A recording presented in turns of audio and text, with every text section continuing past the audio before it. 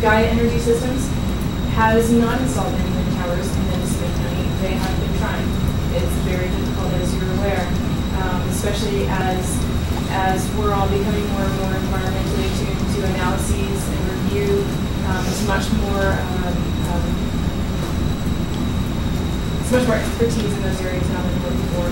So, but typically, single-family residential applications or small garden applications, especially in the coastal zone, it just doesn't pencil out to go through that environmental, that higher level of environmental review. We're really fortunate that Charles is still sticking in to this. We've got our biological assessment. We feel really confident that all of those issues have been addressed and feel more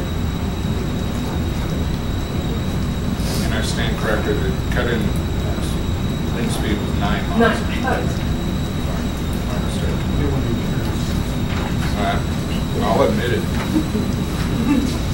Okay, supervisor. Thank you. Um, Question for staff, on a letter from, from um, Department of Parks and Rec, the uh, the two statements at the bottom, to avoid impacts to wildlife, Turbine State Parks request the following, they're talking about the recommendations from the California guidelines for reducing impacts to birds and bats from wind energy development. Is this a document that you used in, in your, in the permitting process? Did you use this document in order to? I mean, that's come Neil up- Leitner, who's a project coordinator to respond. Yes. Um, During my review of the permit, um, I used the California guidelines for reducing impacts to birds and bats. Um, They recommend, um, in essence, they recommend a study um, similar to what WRA um, the study did for the birds and bats. And then they also recommended um, whatever the study comes up with, such as finding marble or Eurolead to impose special conditions, such as the special condition I recommended. The number three. Um, Yes, the one included in the board summary. So you would say that basically in this process, you complied with the questions uh, presented by Parks and Number One? I believe it. I So you believe you've com- you've complied with the the guidelines? Yes, because that special condition would avoid the take of the marbled murrelet. Thank you. To, um, to um, applicants, in uh, addition to, I mean, the the new documents that we received just prior to the meeting, looking at the letter from Mel McKinney and Mr. Woods and listening to your comments about the, the visual issues. Now, you're stating that it's not, uh, as proposed, visual, there's no visibility of the, of the proposed uh, tower from Big River Beach or Highway 1. So where is it visible from?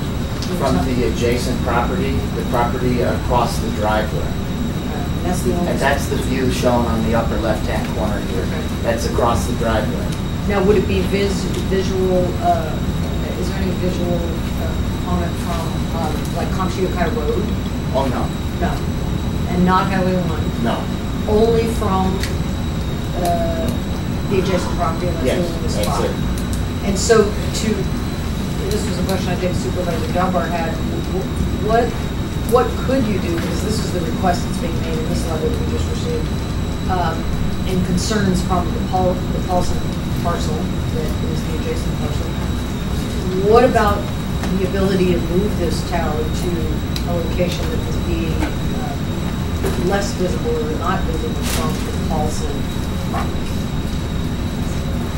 Well, due to the uh, conservation easement, the only direction that it could go at this elevation is further down to the left, slightly from where it is, and it would probably still be visible to the Paulson property. So there is a strip of land between the edge of my property and the conservation easement, and it is into that strip of land that this proposed tower would be placed.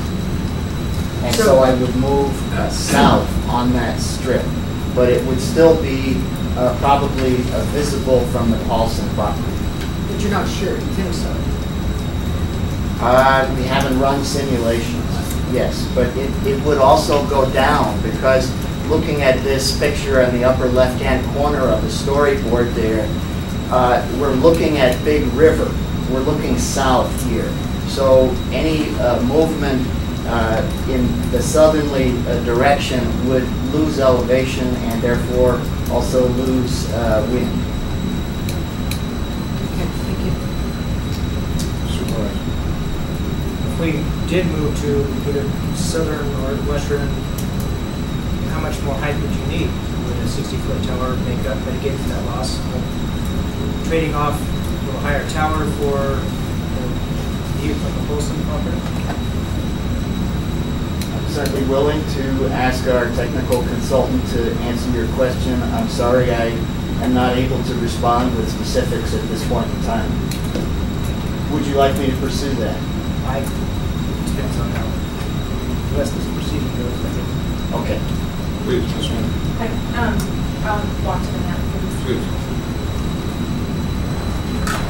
Okay, so, um, I spent a lot of time on this property, and it's not, certainly not as much as the applicant or the appellant, but spent a lot of time on this property. This is a very steep draw that has the open space easement around it. Um, There, i- relocating this, this is, this is the only available area. Once you get to approximately this point of the property, it starts to cut very steeply.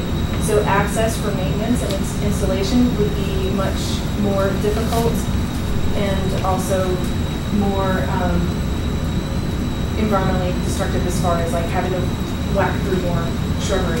So that, in my mind, in reviewing the parcel and in trying to figure out from a planning point of view, where the best location would be for all factors involved. And, and in my personal, in, my business, I always try to keep in mind the interests of the neighbors as well, because you don't want to aggravate neighbor relations. Um, so, but this, I concurred with my client's um, citing of this. This is the best location for wind access, maintenance, and um, there's, you know, on, the- on the east, on the western side of the property, the parcel is extremely encumbered by easements and, um, I mean, by, you know, transportation easement, um, septic, uh, the open space easement, and the house footprint itself with its driveway to come in and turn around and get out. So it's really, it's just this, this strip over here. There is an, ea- the, the roadway easement wraps all the way around here and down to this, this parcel here. Um, and this is the most level area, again, it cuts pretty straight, pretty quickly down.